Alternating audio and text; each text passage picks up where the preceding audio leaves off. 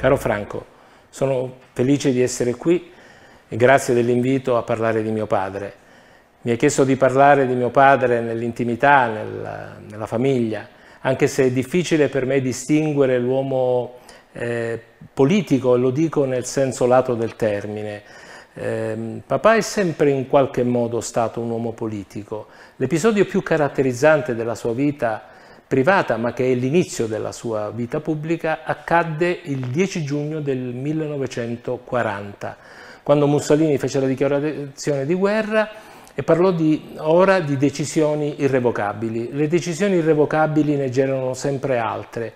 Eh, lui era con il padre, eh, mio nonno, che era Antonio, che era antifascista dichiarato, in una festa, tutti mh, diedero eh, espressioni di gioia, mio nonno aspettò che la folla si calmasse per dire che quella era la fine di Mussolini, che avremmo perso la guerra e che l'avremmo continuata a fianco degli anglo-francesi. Devo dire pre previsione visionaria per allora.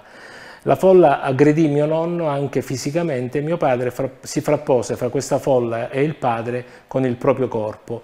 Mi disse, aveva circa otto anni, mi disse che quel giorno lui aveva deciso da grande di combattere per la libertà in difesa del padre. In realtà questa difesa del padre, questo essere figli, è il tema non solo di mio padre, ma secondo me di ogni buon cristiano.